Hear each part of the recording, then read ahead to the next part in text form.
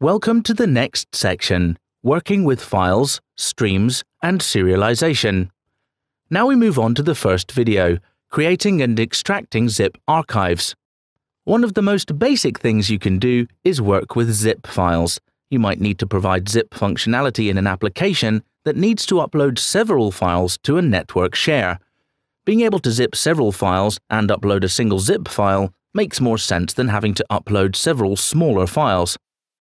First, we create a console application, call it Files Example, and save it in the appropriate folder. Next, we right-click on the References node and select Add Reference from the context menu. In the Reference Manager, we search for the word compression.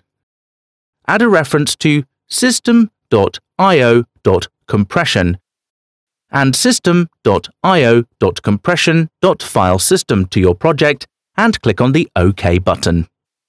Once these references get added, our solution looks like this create a folder with some files. Here we have already created a folder named Documents and it has three files. Add these namespaces on top of our program.cs file. Then inside the program class, I add this code. Here I have created a method called zipit, and this is used to zip the documents directory. The code is pretty straightforward to understand, I want to, however, highlight the use of the create from directory method.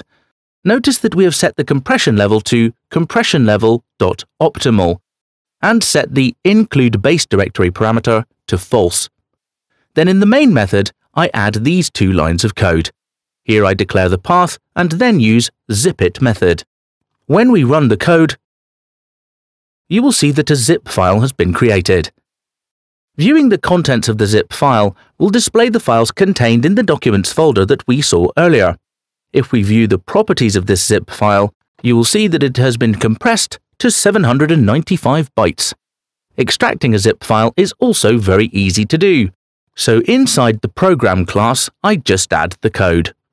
Here I've created a method called unzip it and pass the path to the temp folder to it.